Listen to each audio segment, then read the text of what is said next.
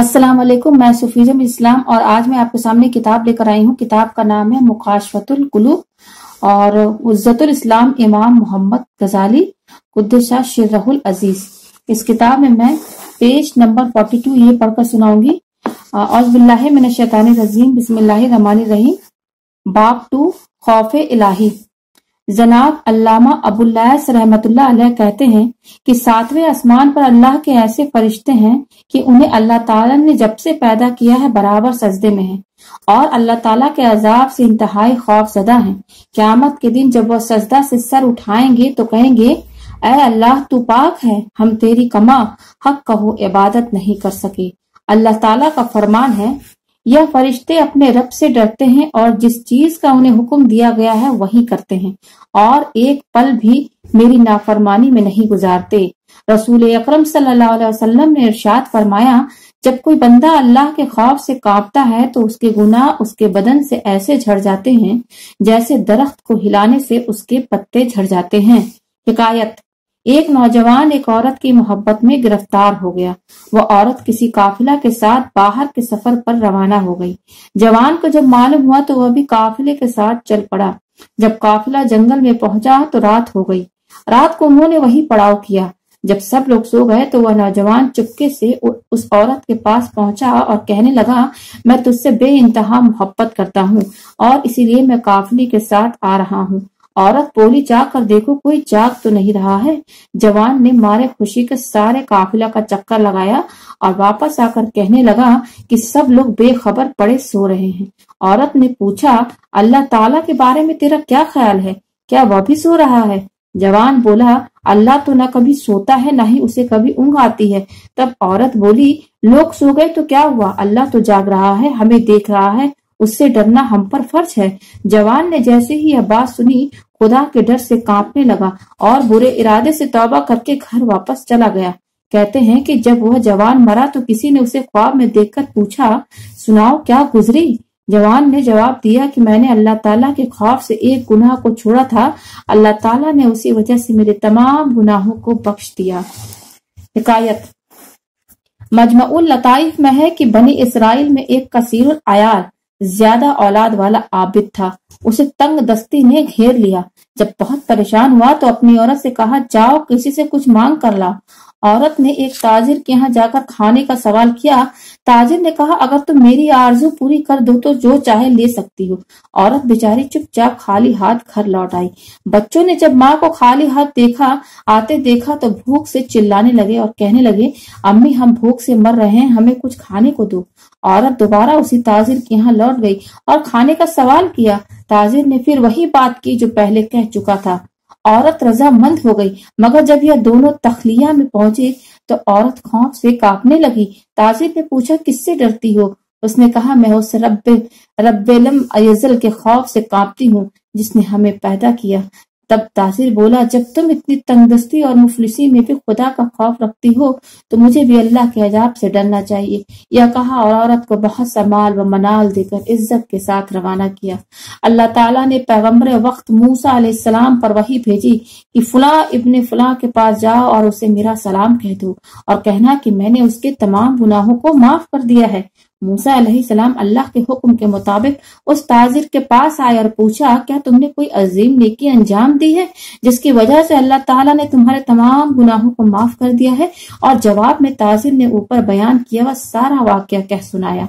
हजूर पाक वसल्लम फरमाते हैं, फरमाने इलाही है, मैं अपने किसी बंदे पर दो खौफ और दो अमल जमा नहीं करता।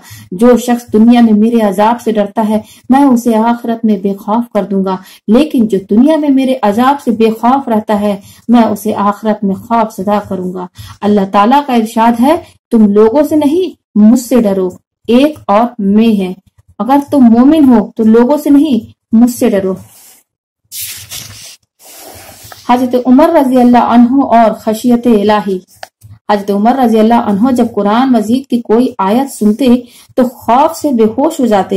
एक दिन एक दिन का हाथ में लेकर कहा, काश मैं एक तिनका होता। कोई काबिले ज़िक्र चीज़ न होता। काश मुझे मेरी माँ न जनती। और खुदा के डर से अपना, खुदा के डर से आप इतना रोया करते थे कि आपके चेहरे पर आंसुओं के बहने की वजह से दो काले निशान पड़ गए थे। हजर पाक सल्लल्लाहु अलैहि वसल्लम ने फरमाया, जो शख्स खौफ खुदा से रोता है, वह जहन्नम में हरगिज दाखिल नहीं होगा। उसी तरह जैसे कि दूध दोबारा अपने थनों में नहीं जाता। तकाइकुल अखबार में है कि क्यामत के दिन एक शख्स को लाया जाएगा। जब उसके अमाल तोले जाएँगे तो बुराइयों का पलड़ा भारी हो जाएगा। चुनानचे उसे जहन्नम में डालने का हुक्म मिलेगा।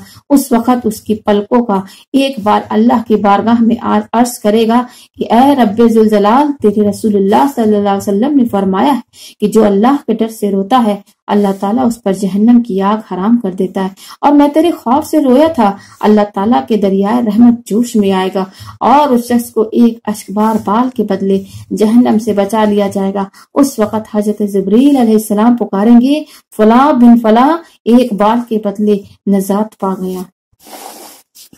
हिदायतुल हिदाया में है कि कयामत के दिन जब जहन्नम को लाया जाएगा तो उससे हैबतनाक आवाज़ें निकलेंगी, जिसकी वजह से लोग उस पर से गुजरने में घबराएँगे। जब लोग जहन्नम के करीब आएँगे तो उससे सख्त गर्मी और खौफनाक आवाज़ें सुनेंगे, जो 500 साल के सफ़र की दूरी से सुनाई देती होंगी। जब हर नबी नफसी नफसी और हुजूर पाक सल्लल्लाहु अलैहि वसल्लम उम्मती उम्मती कह रहे होंगे, उस वक्त जहन्नम से एक बहुत ही बुलंद आग बाहर निकलेगी और हुजूर पाक सल्लल्लाहु अलैहि वसल्लम की उम्मत की तरफ़ बढ़ेगी। आपकी उम्मत उसकी मुदाफत में कहेगी ए आग, तुझे नमाजियों, सदका देने वालों, रोजेदारों और खौफ खुदा रखने वालों का वास्ता वापस चली जा, मगर आग बराबर बढ़ती चली जाएगी। तब हज़रत जबरील यह कहते हुए कि जहन्नम की आग उम्मत मोहम्मद की तरफ़ बढ़ रही है आपकी खिदमत में पानी का एक प्याला पेश करेंगे और अर्ज़ करेंगे, ए अल्लाह के नबी, इससे आग पर छीटे मारिए। आप आग पर पानी के छीटे मारेंगे तो वह आग फ़ौरन बुझ जाएगी। उस वक्त आप सल्लल्लाहु अलैहि वसल्लम जबरील से उस पानी के बारे में पूछेंगे। जबरील कहेंगे हुजूर, या खौफ खुदा से रोने वाले आपके गुनहगार उम्मतियों के आँसू थे। मुझे हुक्म दिया गया है कि मैं यह पानी आपकी खिदमत में पेश करूँ, और आप उससे जहन्नम की आग को बुझा दे। हजूर पाक वसल्लम दुआ मांगा करते थे अय अल्लाह, मुझे ऐसी आँखें अता फरमा जो तेरे खौफ से रोने वाली हो। अय मेरी दोनों आँखें, मेरे गुनाह पर क्यों नहीं रोती हो? मेरी उम्र बर्बाद हो गई और मुझे मालूम भी न हुआ। हदीस शरीफ में है, कोई ऐसा बंदा मोमिन नहीं जिसकी आँखों से खौफ खुदा से मक्की के पर के बराबर आँसू बहे और उसकी गर्मी उसके चेहरे पर पहुँचे और उसे कभी जहन्नम की आग छुए। जनाब मोहम्मद बिन अल मुंजर रहमत जब खुदा के खौफ से रोते तो अपनी दाढ़ी और चेहरे पर आँसू मना करते और कहते, मैंने सुना है कि वजूद के जिस हिस्से पर आँसू लग जाएँगे, उसे जहन्नम की आग नहीं छुएगी। हर मोमिन के लिए ज़रूरी है कि वह अजाब इलाही से डरता रहे और अपने आप को ख्वाहिश ख्वाहिशात नफसानी से रोकता रहे। फरमान इलाही है। बस जिस किसी नाफरमानी की और दुनिया की ज़िंदगी को सब कुछ जाना उसका ठिकाना जहन्नम है और जो अपने रब के सामने खड़े रहने, मकाम से डरा और अपने नफ्स को ख्वाहिशात से रोक दिया तो उसकी पनागाह जन्नत है। जो इंसान अजाब इलाही से बचना चाहे और सवाब और रहमत का उम्मीदवार हो, उसे चाहिए कि दुनिया की मुसीबतों पर सब्र करे, अल्लाह की इबादत करता रहे और गुनाहों से बचता रहे। जहूरियाज में एक हदीस है कि जब जन्नती जन्नत में दाखिल होंगे तो फरिश्ते उनके सामने तरह तरह के नेमतें पेश करेंगे। उनके लिए फर्श बिछाएँगे मेंबर रखे जाएँगे और उन्हें मुख्तलिफ़ किस्म के खाने और फल पेश किए जाएँगे। उस वक्त जन्नती हैरान बैठे होंगे। अल्लाह ताला फरमाएगा अय मेरे बंधु हैरान क्यों हो? ये जन्नत ताजुब की जगह नहीं है। उस वक्त मोमी नच करेंगे, बारे इलाहा। तूने एक वादा किया था जिसका वक्त आ पहुँचा है। तब फरिश्तों को हुक्म इलाही होगा कि इनके चेहरे से पर्दे उठा लो। फरिश्ते अर्ज़ करेंगे, यह तेरा दीदार कैसे करेंगे? हालाँकि यह गुनागार थे। उस वक्त फरमाने इलाही होगा, तुम हिजाब उठा दो या ज़िक्र करने वाले, सजदा करने वाले और मेरे खौफ से रोने वाले थे और मेरे दीदार के उम्मीदवार थे, उस वक्त पर्दे उठा दिए जाएँगे और जन्नती अल्लाह का दीदार होते ही सजदे में गिर जाएँगे। फरमाने इलाही होगा, सर उठा लो, यह जन्नत दार अमल नहीं, दार जजा है और वह अपने रब को बेकैफ देखेंगे। अल्लाह ताला फरमाएगा, मेरे बंदो, तुम पर सलामती हो, मैं तुमसे राज़ी हूँ। क्या तुम मुझसे राज़ी हो? जन्नती अर्ज़ करेंगे, ऐ हमारे रब, हम कैसे राज़ी नहीं होंगे। हालाँकि तूने हमें वह नेमतें दी, जिनको न किसी आँख ने देखा, न किसी कान ने सुना, और न ही किसी दिल में उनका तस्वुर गुजरा। और यही उस फरमान इलाही का मकसूद है कि अल्लाह उनसे राज़ी हुआ और वह अल्लाह से राज़ी हुए।